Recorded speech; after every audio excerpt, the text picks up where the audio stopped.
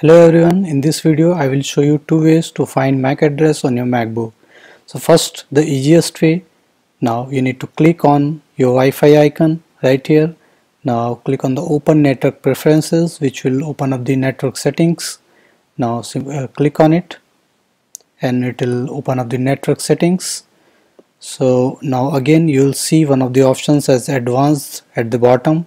Now you need to click on advanced so you'll reach on this page and if it is there on like TCP, DNS or anywhere else you need to click on this Wi-Fi the first option.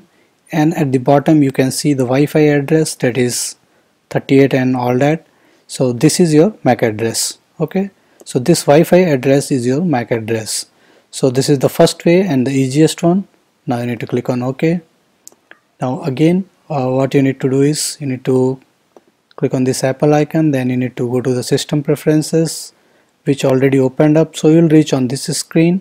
Now from here you need to click on this network icon which is in the which is right there in the middle in the third line network icon. Click click here and you will again reach on this screen uh, where you you know reached network preferences. So this is the screen again advanced and the bottom Wi-Fi address is your MAC address. So these are the two ways to find your MAC address on your MacBook so thank you for watching the video. Please like it and subscribe to my youtube channel for more videos on macbook. Thank you